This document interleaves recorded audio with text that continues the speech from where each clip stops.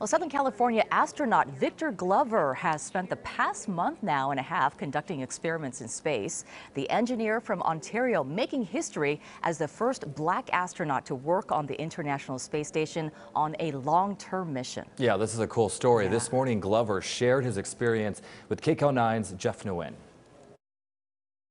I'm a science geek.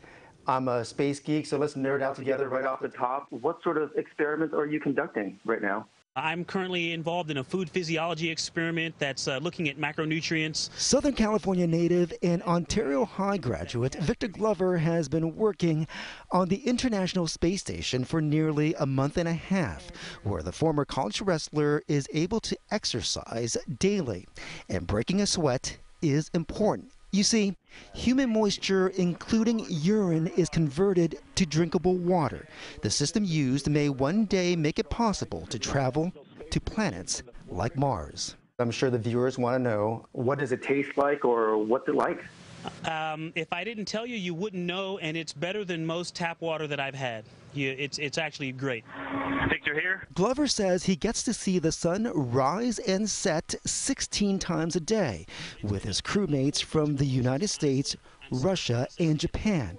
An example of international cooperation during a year in which our society has faced calls for social change.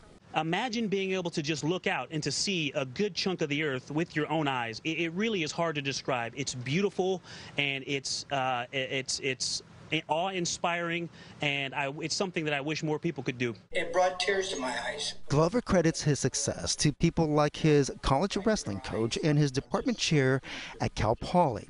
He encourages young people to seek out good mentors who can help them dream big. And because his experiments have to do with food, we wanted to take him back to his Southern California roots. I had heard a few years ago that astronauts eat tortillas in outer space. You know, the tortilla is quite popular. Think of it as like a food koozie. You can use it to grab a hot drink bag, a cold drink bag, and your hands roughly stay the same temperature. You can wrap meat or beans in it. It's just so versatile. And a bit of a pro tip for future astronauts. No matter what you wrap in them, make sure you warm up that tortilla, even in zero gravity.